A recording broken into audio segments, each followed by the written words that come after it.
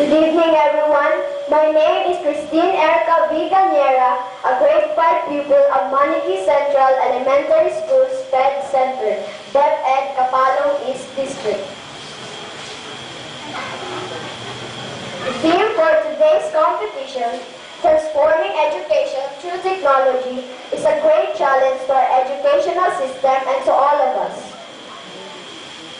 Basically, education starts home as our parents taught us how to eat, dress, mingle with others, and etc. Before, our parents were just depending on books to read stories to us.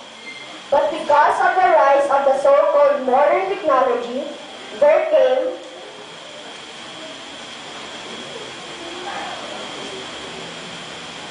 the television sets, video cassette recorders, players, and other audio and video equipment that were used to make us appreciate things around us and most especially for us to learn.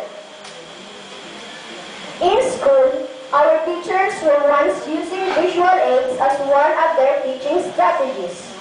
However, the growth of technology has indeed helped them improve their way of teaching. We, the students, became more attentive and interested to listen as the integration of technology to the teaching and learning of our subjects has become more interesting. Books have been for years the best resources of our assignments.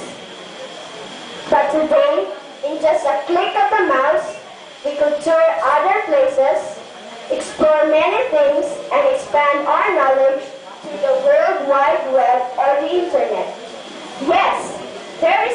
dramatic transformation of education because of technology.